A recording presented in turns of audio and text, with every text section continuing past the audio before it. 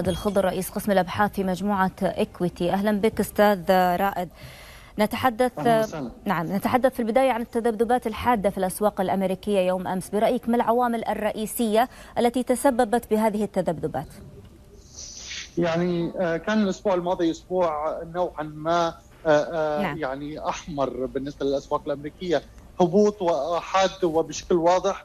وبدأ تعاملات هذا الأسبوع الأسواق الأمريكية ببعض من التعافي نوعا ما. فبعد أن لمس مستويات متدنيه مؤشرات الداو جونز عاد مجددا للارتفاع بأكثر من 1500 نقطة. طبعا هذه الارتداد أو هذه التذبذب واسع النطاق هو بنتيجة انتظار قرارات مهمة فيما يتعلق بالتغير في السياسة النقدية. نعم.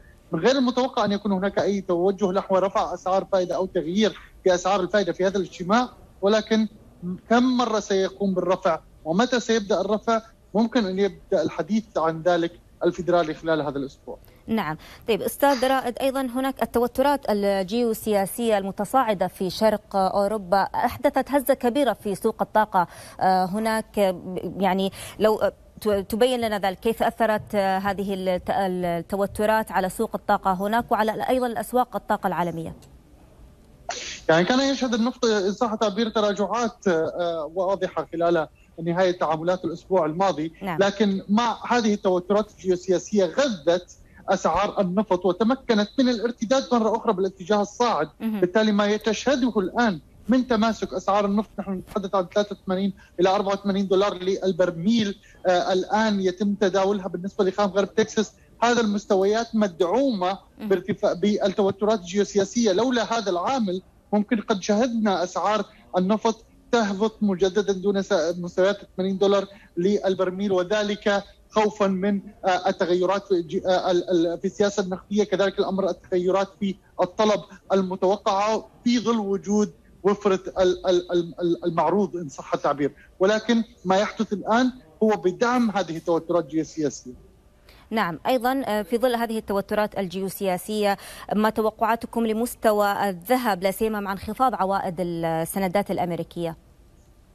صحيح عوائد السندات الأمريكية انخفضت عندنا من 1.9 إلى 1.7 كذلك الأمر عندي توترات جيوسياسية. كل ذلك ساهم بدفع أسعار الذهب لمستويات أعلى تقريبا. نحن نتحدث عن 1842 دولار للأونصة كانت مستويات محورية تتحرك عندها أسعار الذهب ولا تزال متمسكة بها. حقيقة الهبوط التصحيحي إلى مستويات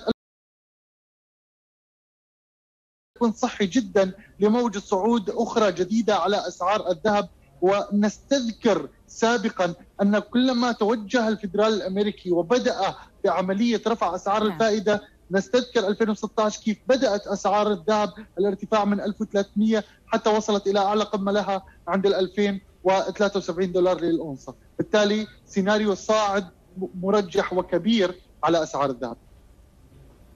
نعم السيد رائد الخضر رئيس قسم الأبحاث في اكويتي جروب شكرا جزيلا لك.